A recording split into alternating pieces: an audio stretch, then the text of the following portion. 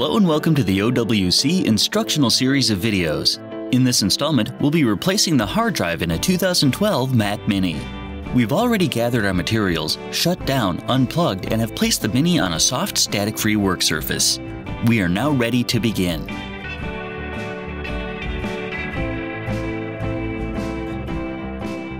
The first step is to flip the Mac Mini over. Rotate the bottom cover counterclockwise until the two white dots are aligned. You can then lift the cover off using your nylon pry tool if necessary. First, we need to remove the memory modules. To do this, gently pull outward on the retaining clips until the top module pops up, then gently pull it straight out. Repeat the process for the lower module. Next, use your Torx T6 screwdriver to loosen these three screws that hold the fan in place.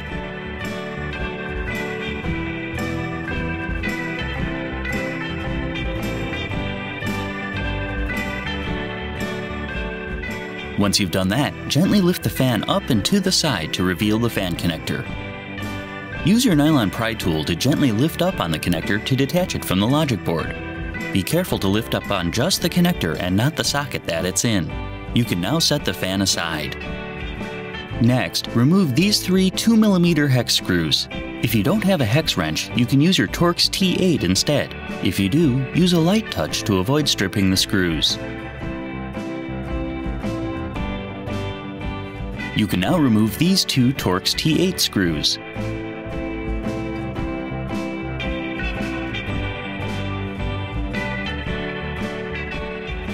Gently lift the antenna grate up and slide it out off to the side. This black cable goes to the airport antenna, which we'll need to disconnect. The airport cable is attached underneath this flap. Move the flap aside and gently lift the connector free.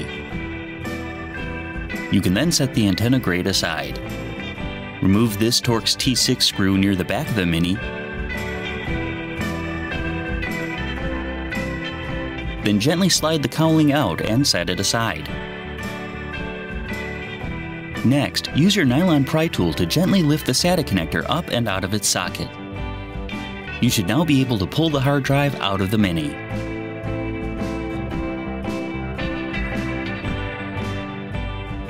To attach the new drive, we'll first need to remove some hardware from the original drive. To remove the SATA ribbon cable, you first need to peel off the small piece of tape holding it on.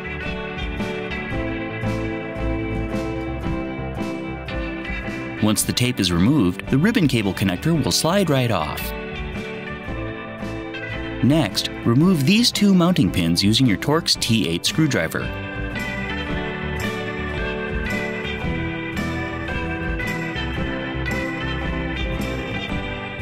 You can now set your original drive aside.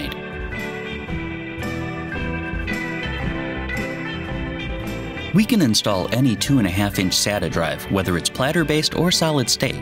For this installation, we're going to use an OWC Mercury Extreme Pro 6G SSD. First, take the ribbon cable you removed from the original drive and attach it to the new one. It should just slide into place. Next, with the ribbon cable side facing away from you, rotate the drive 90 degrees counterclockwise and attach the two mounting pins on that side.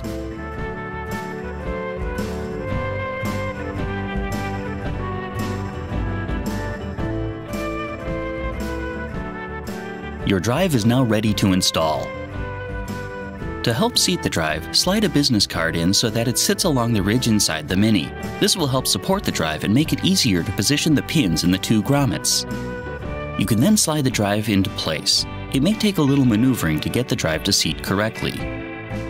Once the drive is seated, you can remove the business card. Next, connect the SATA cable by lining its connector over the connector on the logic board and gently snapping the two together. Then, slide the cowling back into place and reattach the lower screw that holds it in.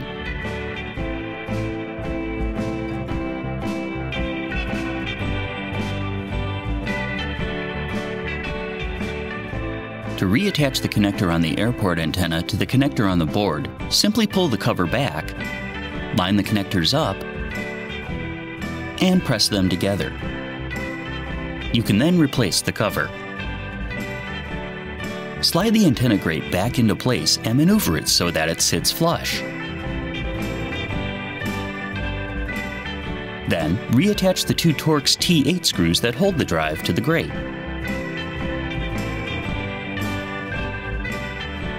You can now reattach the three hex screws around the edge. If you're using your Torx T8 screwdriver to do this, you need to be extremely careful not to tighten them too hard or you'll strip the screws. Now, reattach the fan cable to its connector on the logic board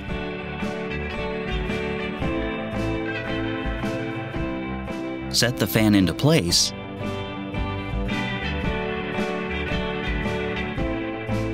and tighten the three Torx T6 screws that hold it in.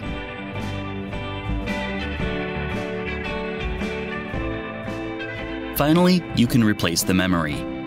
The notch on the memory modules line up with the pins in the memory slots. Place the first module into the lower slot at about a 40 degree angle until it's fully seated, then push down on the outer edge to lock it into place. Repeat the process for the top module.